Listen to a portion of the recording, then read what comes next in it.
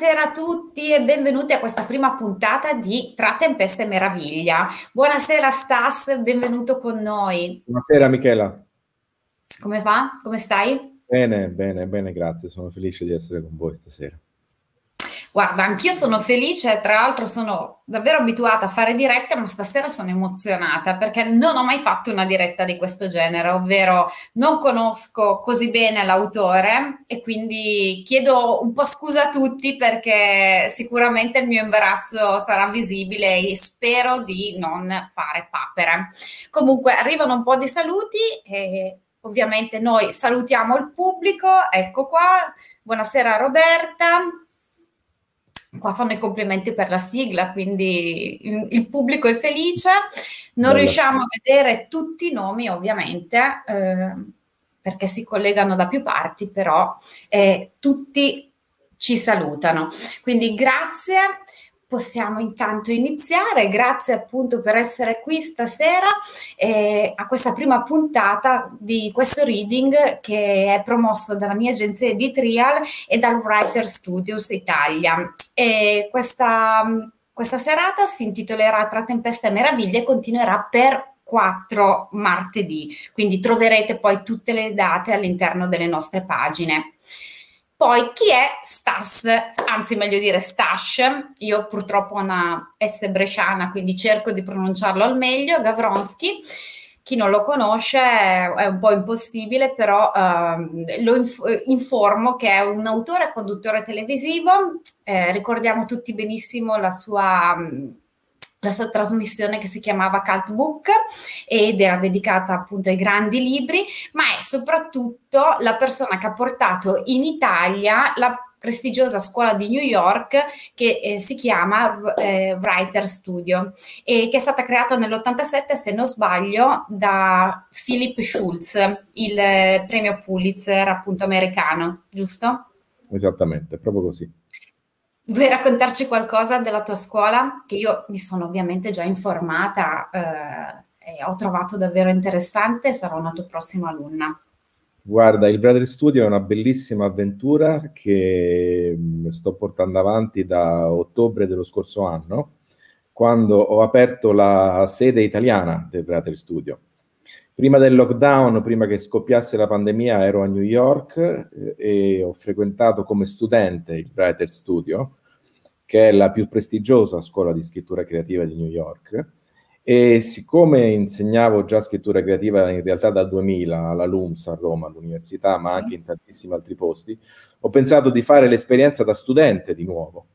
E per due anni ho frequentato il Writer Studio a New York, finché tornando in Italia, d'accordo con la scuola di New York, ho deciso di aprire la sede italiana e di proporre il metodo del Writer Studio in lingua italiana. Abbiamo dei workshop trimestrali, che significa che ogni stagione ha il suo workshop di otto settimane. In questi, in questi giorni siamo arrivati quasi alla fine del workshop autunnale. A gennaio cominceranno i workshop eh, invernali ed è un'esperienza bellissima. Per me è un'esperienza da studente ed è un'esperienza da insegnante, in entrambe le vesti. Da studente scrivo in lingua inglese, da insegnante insegno in lingua italiana.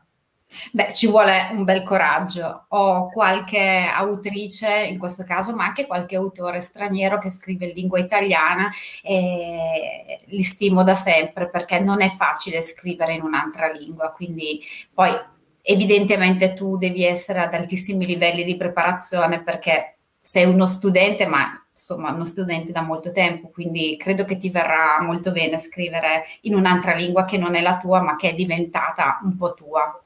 Vuoi... Facile, ma... Meno... Sì, sì, vai, vai. No, dicevo, non è facile scrivere in inglese, ma è una grande passione, quindi eh, come, fare, come scalare una montagna, ma con, grande, con un cuore ardente, con grande passione. Ti svelo un segreto, molti italiani in questo momento ti invidieranno perché gli italiani difettano un po' con la lingua inglese, difettano con le lingue straniere in realtà, quindi eh, potresti essere un buon esempio e da spunto per qualcuno. Ma chi lo sa, io invito tutti a venire al Bradley Studio Italia, quindi a, a coinvolgersi nelle lezioni in lingua italiana perché è un'esperienza bellissima è un metodo estremamente efficace che ha portato moltissimi scrittori negli Stati Uniti a pubblicare, sono usciti anche dei premi Pulitzer da questa scuola e ecco, quello che faccio è invitare a coinvolgersi, a unirsi a, a questa iniziativa.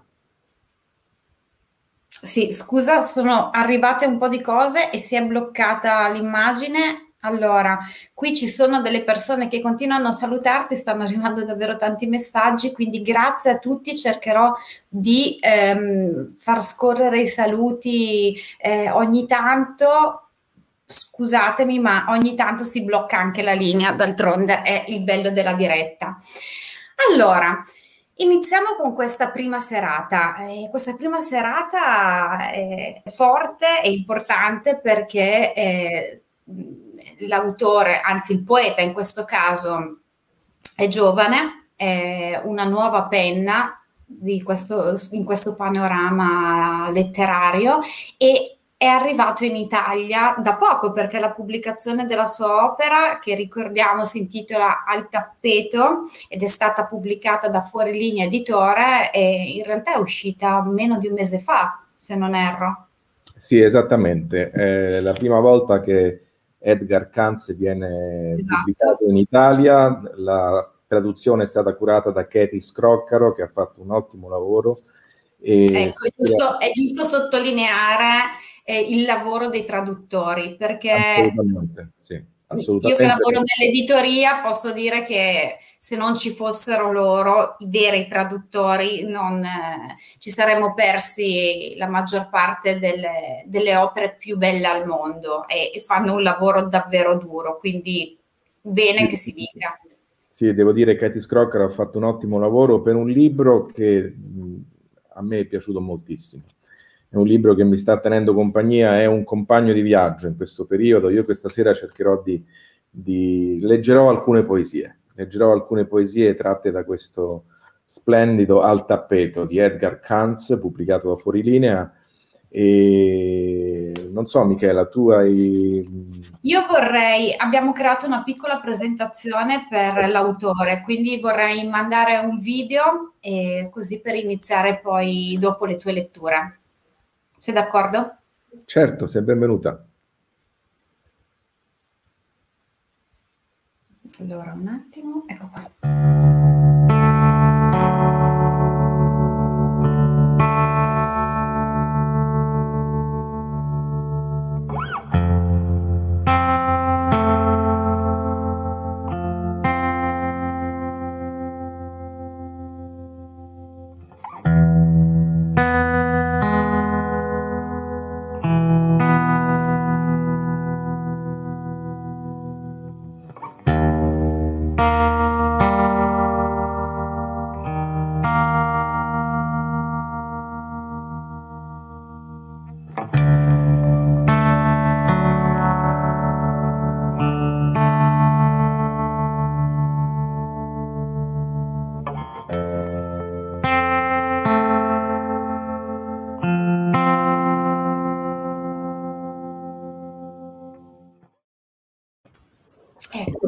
Ecco, abbiamo visto il volto giovane, bellissimo di questo poeta che sembra angelico nel suo, sì. nel suo aspetto, ma in realtà ha avuto, una, ha avuto una, un'adolescenza e un'infanzia molto difficile che, eh, che echeggia in queste sue poesie, che sono in gran parte dedicate a suo padre suo padre è uno dei protagonisti di queste. Vuoi sì, dire qualcosa? Esattamente. Eh, difatti molte persone hanno ricevuto il materiale, informo tutti che qualora foste sprovvisti del materiale potete scrivere alla mail che eh, trovate nel link dell'evento e io vi invierò subito eh, le, le, poesie che adesso Stascia leggerà per noi. Quindi io mi faccio piccola piccola e ti faccio iniziare. Michela, grazie e benvenuti a tutti questa sera per questo reading delle poesie di Edgar Kanz. Io vorrei cominciare con la prima poesia presente nel libro che si intitola Dopo l'uragano. 300 miglia a nord, Mio padre è accampato in un furgone lungo il fiume Connecticut. Le gomme da neve sprofondate nel fango fino ai cerchioni. Una coperta di lana per cavalli rimboccata sul parabrezza. Un paio di calzoni di ricambio appallottolati come cuscino. Una busta di carta piena di mozziconi. Un cappellino dei Paul Sox, uno zippo. Ai minuti gratis sul cellulare offerti dallo Stato e una giacca mimetica appesa ad asciugare allo specchietto laterale. Riesce a vedere il parcheggio del Costco attraverso gli alberi, che si riempie e si svuota. Vuole sistemare le cose con sua moglie. Vuole un divano su cui buttarsi a dormire. Vuole un drink. Vuole fare sesso. Ha qualche scatoletta di fagioli rossi e una di tonno ShopRite delle bottigliette raggrinzite per pisciare allineate sul cruscotto. Ogni tanto cammina lungo il fiume e lascia che il vento separi i suoi capelli radi e arruffati. Ogni tanto si sfila i calzini e se ne sta nella corrente scura pensando a sua moglie. Ha la voglia sul collo, a quel dito del piede più lungo degli altri, alle sue mani piene di lentiggini. Con la mente cerca di tenerle le mani, cerca di ricordare in che anno sono nati i suoi figli, cerca di farsi una ragione delle carte che ha firmato. L'acqua gelida bagna l'orlo dei pantaloni, i sassi appuntiti sotto i piedi. È così che lo tengo nella mia mente tutto il pomeriggio.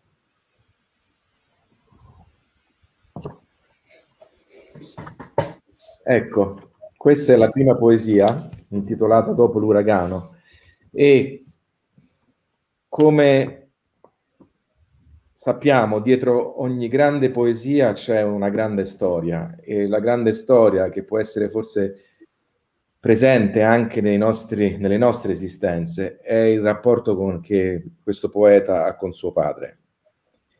Colpisce questa voce in prima persona che dice mio padre e poi si fa da parte e ce lo fa vedere. Questo padre che è lontano, accampato in un furgone lungo il fiume Connecticut e ci fa vedere questo furgone con le gomme sprofondate nella neve, questo dormire dentro con i, pall- i calzoni appallottolati come cuscino. Ecco, l'amore è questo moltissimo, cioè vedere la persona amata con lo sguardo dell'immaginazione, riuscire a raggiungerla attraverso l'immaginazione. Questo è tutto un viaggio che il poeta fa e che alla fine appunto ci dice è così che lo tengo con me nella mia mente tutto il pomeriggio. È una poesia, tra l'altro, che abbiamo anche utilizzato come spunto per un esercizio al Writer Studio in uno dei passati workshops e mi commuove ogni volta, ogni volta che la leggo. Io vorrei dire alle persone che ci stanno seguendo in questo momento, se c'è qualche immagine che vi colpisce, qualche parola, non esitate a segnalarla a Michela, non esitate a, a, a scrivercela, se c'è qualcosa che vi colpisce. Esatto. E perché le poesie non vanno capite, le poesie vanno ricevute le poesie sono qualcosa che ci colpiscono attraverso delle singole parole, attraverso delle immagini e quello è sufficiente. La seconda poesia che vi vorrei leggere si intitola Natick. Natick è il nome di una piccola cittadina del Massachusetts. Edgar Kantz è originario del Massachusetts, eh, nel New England, quindi parliamo della costa est degli Stati Uniti. Ed è una fotografia di un momento di intimità vissuta con il proprio papà, con il proprio padre. Anche questo è un ricordo, però è un ricordo che arriva come qualcosa di lancinante. Sentite qua. Il parabrezza ricoperto di polvere, il sole coricato sulle colline, le dita di mio padre che tamburellano sul cruscotto facendo tremare la scatola di chiodi nel posacenere, il mozzicone tenuto delicatamente tra i denti, il silenzio che scambiavamo tra noi avanti e indietro come una battuta, sapendo che un giorno avremmo smesso di parlarci per sempre, sapendolo quando la statale ha aperto lo spazio davanti a noi e Natic è sparita sui lati. Quando ha avvicinato la sua mano alla mia, palmo contro palmo, le unghie piene zeppe di grasso, le nocche con più cicatrici che pelle. Quando ha detto che ho le mani da pianista e pieno di vergogna le ho nascoste nelle tasche della mia giacca. È bellissima eh. questa immagine. Sì, dimmi. A me, piacciono le, a me è piaciuta molto l'immagine delle cicatrici sulle nocche. Quelle sono le immagini che colpiscono, ad esempio, di più la mia sensibilità. Parliamo di un, di un, padre, di un personaggio che appartiene alla working class, è un operaio, è un uomo che lavora nelle officine di notte, che ha lavorato come spazzacamini e c'è questo figlio che invece è riuscito a diventare anche un, un insegnante di scrittura creativa in una scuola di Baltimora nel Maryland e che ricorda, che ricorda questo padre con cui avrebbe smesso di parlarsi un giorno. Ecco, come potete vedere queste poesie sono molto narrative e la concretezza delle nocche con più cicatrici che pelle, per esempio, delle unghie piene zeppe di grasso, di questo papà che avvicina la mano alla mano del figlio. Ecco, questa, questa concretezza è uno schiaffo benefico, in senso positivo, al sentimentalismo di tanta poesia no- nostrana. Ecco, dobbiamo abituarci a essere così concreti, a incarnare i sentimenti dentro dei dettagli concreti. Noi vediamo, sappiamo tanto di questo padre, dal grasso che ha nelle unghie, dalle nocche che, so, che sono più cicatrici che pelle. La prossima poesia che vi vorrei leggere di Edgar Kanz da questo libro intitolato Al tappeto è proprio la poesia che dà il titolo al, al libro che si chiama appunto Al tappeto, in inglese Tap Out. Non so se avete presente quando una persona è, è messa al tappeto in un incontro di wrestling e batte la mano per dire che accetta la sconfitta. Questa poesia probabilmente non è nei materiali che ho mandato, ma vorrei leggervela perché è potentissima. E scusate, aggiungo questo solamente. Ci sono una serie di immagini che Katie Scroccaro ha tradotto molto bene dall'inglese, che sono eh, delle mosse di wrestling, come per esempio il granchio di Boston, il quadrifoglio del Texas, quindi quando sentirete delle espressioni di questo tipo, sono delle mosse di wrestling, di lotta. Eravamo feroci, zigomi tumefatti, mascelle livide, avambracci scorticati e sanguinanti. Il granchio di Boston, il quadrifoglio del Texas, la croce sul viso e l'ala di pollo, una volta Ant mi ha storto la spalla così forte che non ho potuto sollevare il braccio per una settimana. Un'altra volta Daryl, il fratello di Mike, ha provato il salto mortale in avanti sulle scale del retro, atterrando, atterrando di faccia. L'osso del polso gli attraversava la pelle, chiaro e abbagliante. Il papà di Mike faceva il secondo turno da Pratt, perciò se facevamo casino ci strillava dalla finestra della camera da letto ma non poteva punirci più di quanto stessimo già facendo noi. E lo sapevamo. Come quella volta che Daryl ci ha mostrato la sua pistola, una 22 che aveva fregato dalla casa di un amico. Ce l'eravamo passata soppesandola nel palmo. Pesava più di quel che sembrava, ma era piacevole. Si era ficcato la canna in bocca e quando avevamo trasalito si era messo a ridere a crepapelle Troppo forte, aveva detto ansimando tutto paonazzo. Vi siete pisciati sotto, femminucce, eh? Imparavamo nuove mosse. nuovi modi con cui scioccare il corpo in miracoli di dolore. La figura a quattro, l'artiglio di ferro. Tutti i muscoli tremano. La tarantola, la morsa del cammello. La bocca preme l'orecchio dell'altro, sussurrando arrenditi testa di cazzo, non ce la farai a liberarti. Sei mio ragazzino, arrenditi e tutto finirà. Il tiratore scelto, la presa Hammerlock quel respiro acido e caldo sull'orecchio e la certezza che non ti arrenderai, che non gli darai la soddisfazione, nemmeno quando fa più male di qualunque cosa, più delle cinghiate di tuo padre che ti fanno le vesciche sul sedere, più della notte in cui Daryl si è messo quella pistola in bocca e lo sparo ha risvegliato l'intero isolato, al punto che digrigni i denti dal dolore, una rotula tagliente che preme sul tuo petto, un gomito torto oltre il limite, e saresti capace di schizzare fuori da te stesso e guardare il tuo corpo impotente e piccolo e tremante e premere la bocca al tuo stesso orecchio e sussurrare tu no, tu no, tu no. Bellissima e potentissima. Qualcuno ehm, obietta che Vediamo che queste però non sarebbero poesie, sarebbero racconti brevi, non vediamo il nome, quindi se vuole dirci chi è poi eh, lo nominiamo. Allora, è, un po- è, è una poesia che ha un andamento narrativo e io ovviamente la leggo come se fosse un racconto. Dovete immaginare che sono poesie che se le leggete voi ci sono gli spazi bianchi, c'è una metrica, c'è qualche cosa di diverso da quello che vi servo io leggendola ad alta voce. Quindi, per esempio, il mio, il mio andare a capo è diverso come lettore, è diverso dall'andare a capo del poeta.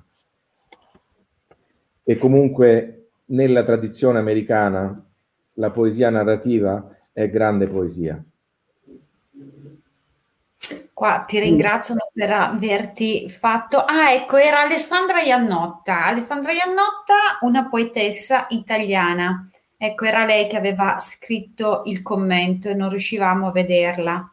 Speriamo, speriamo che piacciono anche ad Alessandra queste poesie. La prossima che voglio leggere. Alessandra ha ricevuto, ha ricevuto il materiale e tra l'altro credo e spero che ci sarà occasione di incontrarci, visto che siete Roma su Roma, quindi prima o poi magari in qualche evento ci, si potrà anche parlare di poesia dal vivo. Allora, qua è viva la narrativa poetica, non so di nuovo chi sia perché purtroppo non riesco a vedere tutti i nomi, quindi mi scuso con le persone. Ecco, la prossima poesia fotografa un momento molto particolare della, della vita del poeta, quando la casa accanto alla propria, accanto a dove abitava con i suoi genitori quando era bambino, prende fuoco. È una notte, è una notte d'inverno, una notte fredda e la casa dei vicini prende fuoco. Immaginate quelle casette americane, quelle casette a schiera, una dopo l'altra, con il giardino davanti. E uno di quei momenti in cui non si, dimentic- non si dimenticano, perché è un momento in cui il poeta decide, e infatti la poesia si intitola Decidendo, decide qualche cosa che sarà fondamentale nella sua vita. Ok. Non le sirene, non gli uomini che trascinano il tubo dall'idrante, la luna oscurata, la cenere alzata dal vento che ci si aggroviglia tra i capelli. Non lo schianto folle della trave centrale o il silenzio come dopo un colpo di pistola non noi quattro, fratelli e il nostro qualche volta padre, il nostro respiro unito e disperso, le nostre mani inutili. Voglio dire, quando sollevo Noah, mezzo addormentato al mio petto e svolto verso casa, quando guardo le finestre della nostra casa e vedo le fiamme fredde e attorcigliate nel vetro, quella prima volta lo dico ad alta voce. Io me ne andrò. E la lenta camminata su per il vialetto e mio fratello che si fa più pesante tra le mie braccia. È un tipo di, di poesia diverso da quello che immaginiamo noi di solito, almeno nel mio lavoro, quella con la quale mi, mi scontro io ogni giorno. Devo dire che se avessi la metà delle capacità di Kanz, a quest'ora avrei scritto forse tantissimi racconti e milioni di romanzi, eh, ma non le ho perché mi stupisco eh, di fronte a queste parole che, che, poi si possa chiamare poesia narrativa o che si utilizzi un altro termine, è fortissimo ciò che riceve il lettore. Ma le emozioni e i sentimenti devono essere incarnati in qualcosa di concreto. Io vi prego di, di ascoltare con attenzione la prossima poesia che si intitola Consegna dei diplomi. Immaginate, dopo quello che noi chiamiamo l'esame di maturità, alla fine del ciclo della scuola liceale la consegna dei diplomi, il giorno in cui viene consegnato il diploma agli studenti. Questa è una poesia bellissima ed è un ricordo lancinante. L'amore è fatto di gesti concreti, costi quel che costi. Sentite qui.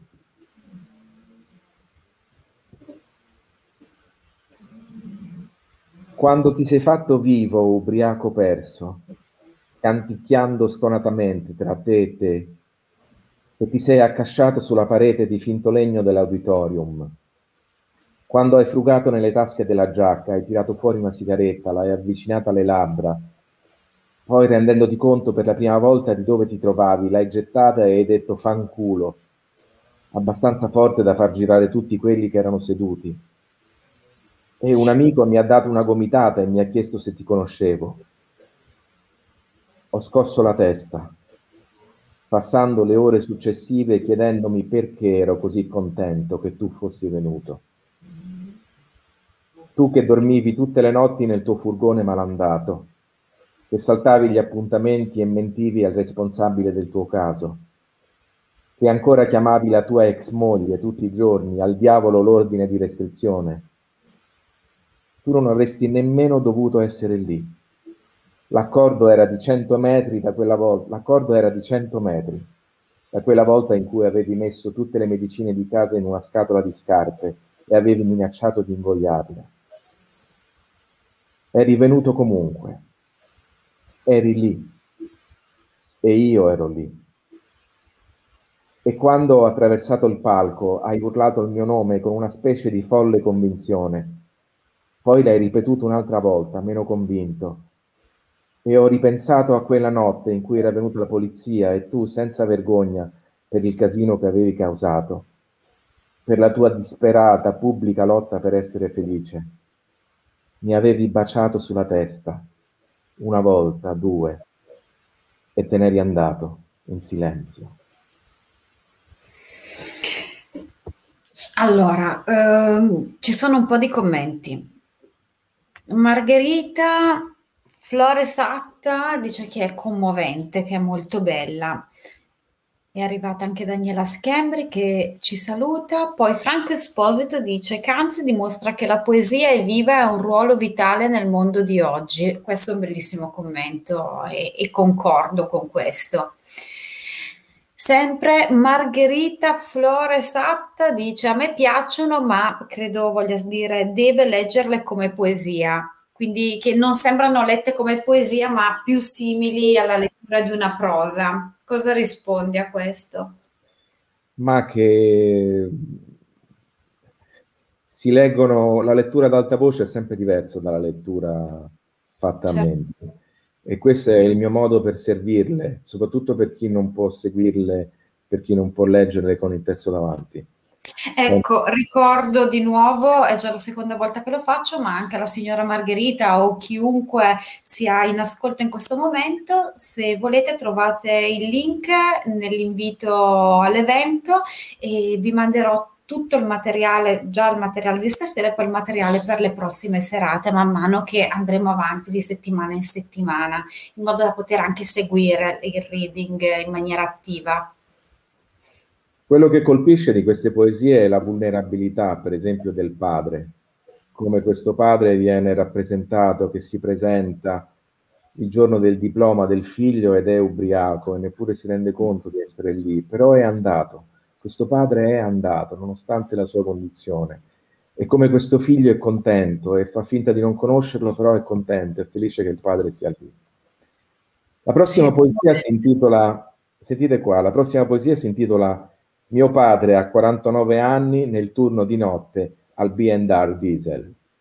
Allora, anche questo è il poeta che immagina suo padre la notte che è di turno in un'officina a lavorare e lo vede a fine turno, nel momento in cui si lava le mani, nel momento in cui si, è l'alba e va verso casa dopo aver fatto il turno di notte.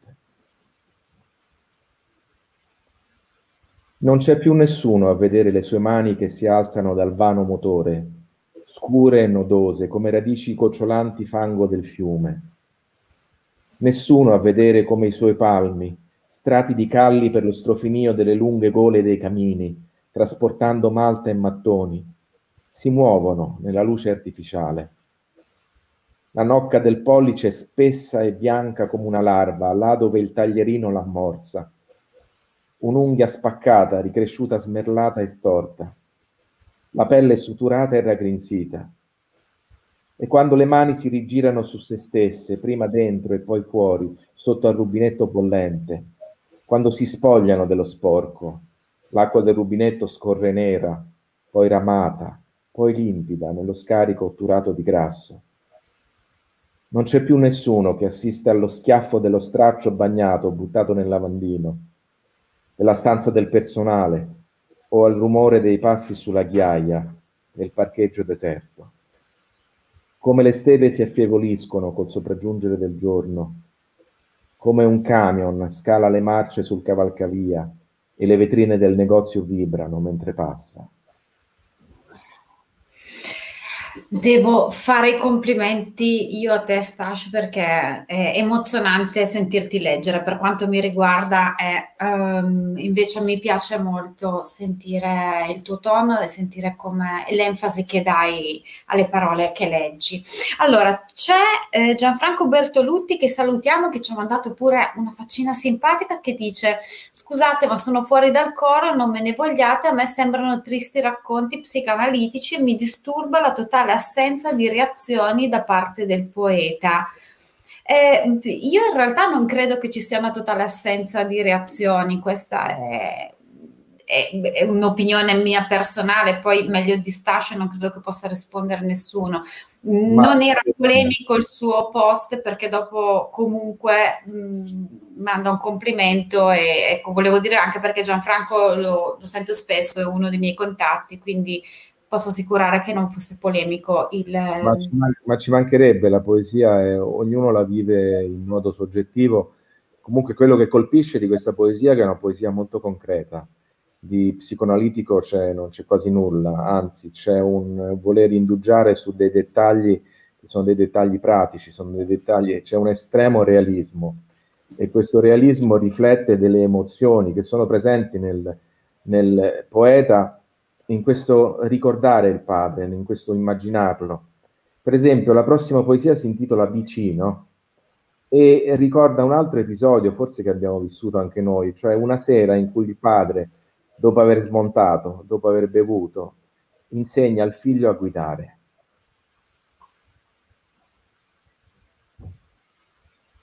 Ha staccato prima dal B&R diesel, sa di liquore Kings col filtro oltrepassa la doppia striscia, sterza verso un posteggio coperto di ghiaccio.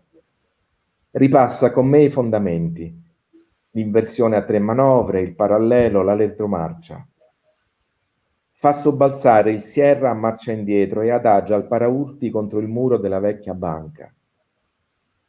Ci ritroviamo dietro il pick-up, il tubo di scappamento e le luci del freno all'altezza delle ginocchia afferra col, fugno, col, afferra col pugno il davanti della mia giacca, mi tira vicino per farmi vedere la distanza tra paraurti e mattone. Tira con forza finché non arrivo proprio sotto l'esile arco della sua clavicola. La barba sfatta che gli oscura la mandibola, le guance incavate. È ancora bello mio padre, fluido, potente. l'avambraccio nudo e teso, coi peli dritti per il freddo. Sì, è ubriaco. Sì, ho già cominciato l'eterno lavoro dell'odiarlo, un lavoro che mi scaverà dentro fin quasi all'osso. Ho già iniziato a fare la lista di tutti i modi in cui mi ha deluso. Sì, ed eccolo qui, a casa prima dopo un turno di lavoro a Fall River, a insegnarmi ciò che devo sapere, tirandomi forte verso di sé, l'ultima mezz'ora di sole che gli spende sulla faccia, mentre mi dice puoi arrivare così vicino. Mi chiede se riesco a vederlo, se so a cosa si riferisce.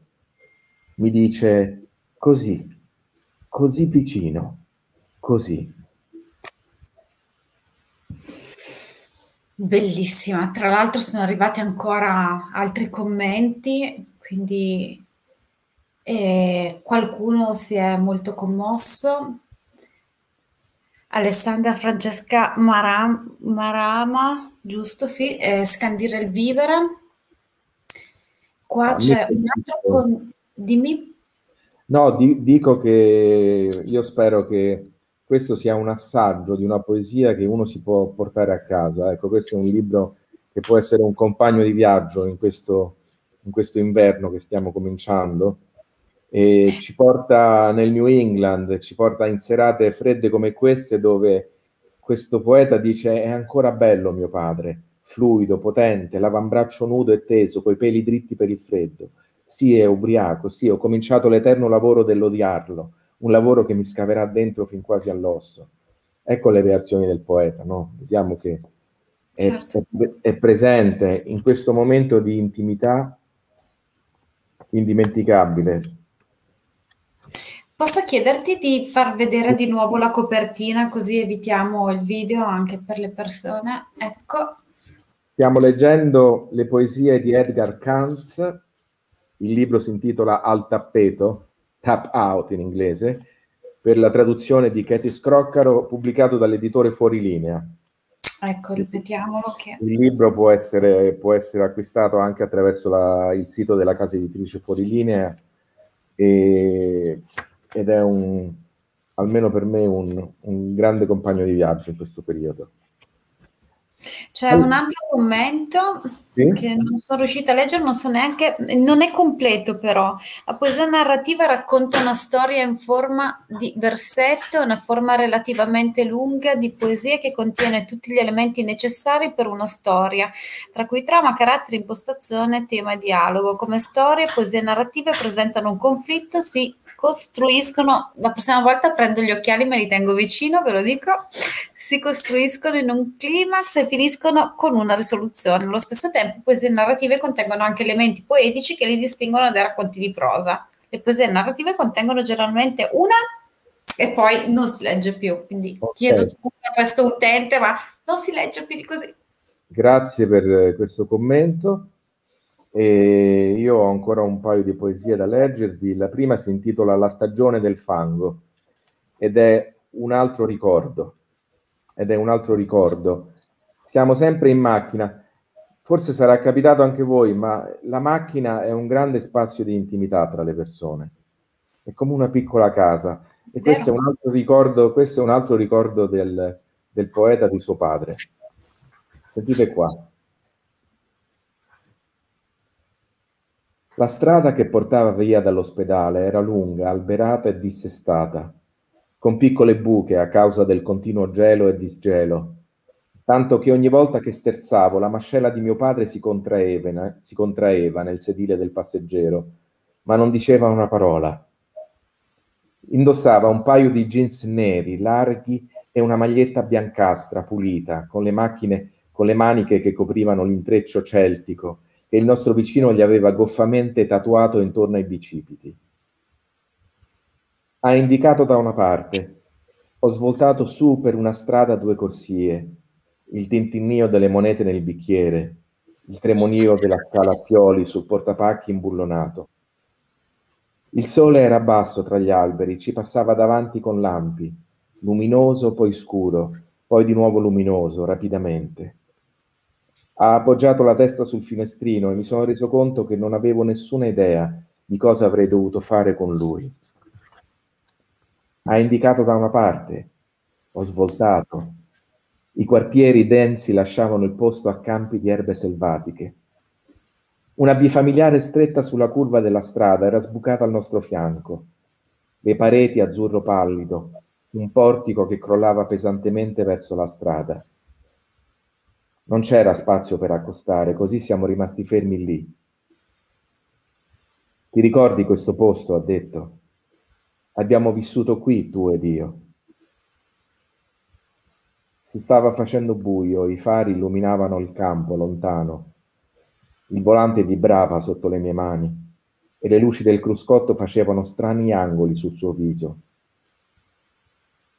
Ricordi, ha detto, quando eri piccolo. Ora posso immaginare perché in determinati periodi eh, queste, questo testo, eh, in particolare le parole di questo autore, possono accompagnare una persona anche per lungo tempo. Eh, tra l'altro sono arrivati degli altri commenti, quindi non vediamo chi è, quindi scusate, l'auto insieme alla casa è quel luogo in cui si trascorre buona parte della nostra vita, sì, c'è davvero qualcosa di molto intimo. Allora, poi, allora, non, qua c'è scritto invece Michela, mi scuso, ma sul posto non vedo il nome dell'ospite, sarebbe bello conoscerlo. Allora, è Stash Gavronsky, ora metto subito un, un banner così che si possa leggere meglio. Tra l'altro arrivano, saluta anche Pisano, sì, qua mi consigliano di mettere gli occhiali e um, complimenti per la lettura, poesia che caratterizza molto bene il rapporto padre-figlio. Ah, oh sì, forse l'avevamo già visto, ma d'umanità. Ecco, nella, nella, la prossima poesia è una poesia molto breve, sono solamente alcune, alcuni versi, ed è, si riferisce al momento in cui la madre di Edgar, la madre del poeta, ha lasciato il padre. Ecco, è il poeta che anni dopo immagina quel momento.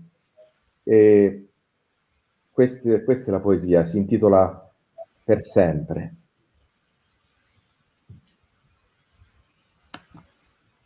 Quando se n'è andata per sempre, curvando una mano sopra l'altra verso l'autostrada, Immagino che mia madre sapesse che mio padre non fosse così rotto e malmesso da non poterlo riparare.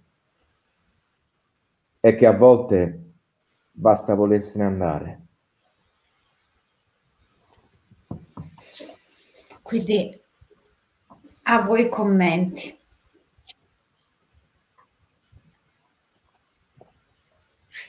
Vediamo, vedo che scrivono che sono lì che scrivono ma ancora non esce nulla. Ecco, chiaramente, ecco, chiaramente come in tutti i grandi poeti la realtà si mescola alla finzione e all'immaginazione. E, d'altronde la memoria, più passa il tempo, più la memoria diventa qualcosa che si confonde con ciò che immaginiamo, con ciò che diventa una proiezione dei nostri desideri, dei nostri desideri oppure dei nostri rimpianti. La penultima poesia per questa sera che vi voglio leggere si intitola Lava Vetri. E avete presente i lavavetri? È la storia di una separazione, sì, Margherita. E invece la, la poesia Lavavetri è dedicata, è ispirata, avete presente quei lavavetri che salgono o scendono piano piano lavando i vetri dei grattacieli? Sì. Ecco. Tutto il giorno scalano la facciata scintillante dell'ospedale su una lunga piattaforma di metallo. Gli stracci in una tinozza di plastica il tergiacqua e il vascone di acqua saponata. Sotto il marciapiede recintato, le facce rivolte all'insù a bocca aperta mentre salgono con il cricchetto alla fila successiva di finestre. Un uomo è seduto alla fermata dell'autobus e li osserva lavorare, finché non è pronto a entrare e vedere che fine ha fatto suo padre. Un uomo che certi giorni è sul punto di amare. Ha viaggiato molto per arrivare fin qui. È l'unico che si farà vivo. Si siederà vicino al letto di suo padre nel, reparto e aspetterà che un viso appaia alla finestra bagnato e strizzando gli occhi sotto il berretto bianco. Aspetterà che la schiuma offuschi la luce, lo sbattere concitato dall'altra parte, il sapone lavato via mentre qualcuno fa salire la piattaforma, il petto, le ginocchia, le scarpe da ginnastica, il cielo.